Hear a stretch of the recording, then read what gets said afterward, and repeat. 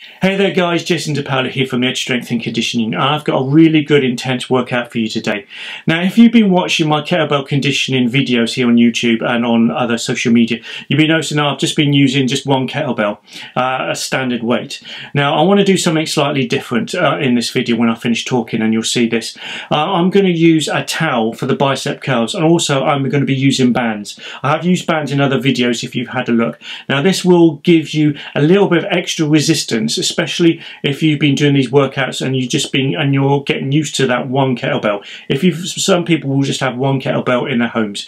Now, if you go to the gym, yes, you can go up another weight and stuff. But if you've just got one kettlebell, a band or a towel will give you that little bit extra uh, intensity, something slightly different to give your muscles a little bit of extra. Or I don't know what I'm doing here. So.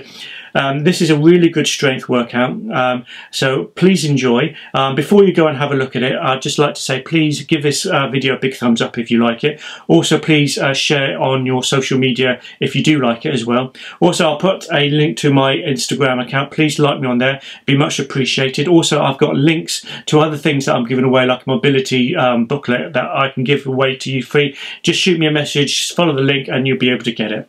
So I hope you like the video, uh, and I shall see you on another video coming real soon.